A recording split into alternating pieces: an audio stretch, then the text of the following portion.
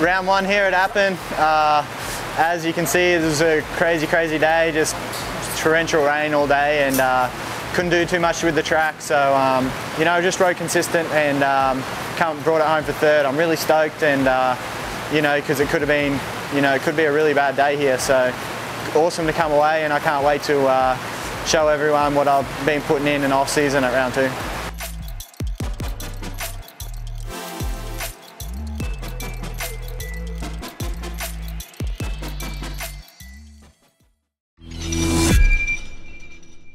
Yeah,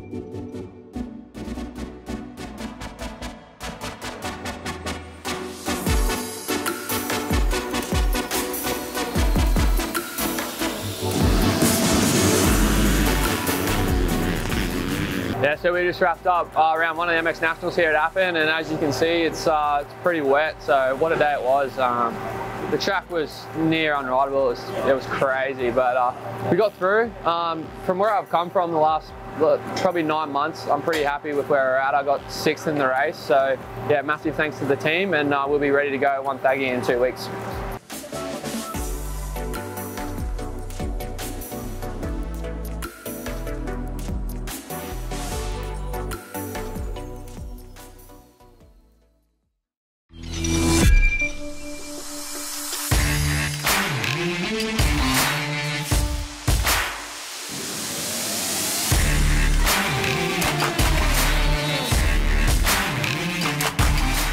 So round one of uh, the Australian Motocross Championship here in Appin. Um, the skies have opened up all week and uh, we ended up doing one moto this uh, this weekend and uh, finished second. Um, you know what, we, we left with a good points and we're on the podium and uh, look forward to some drier weather at the next round.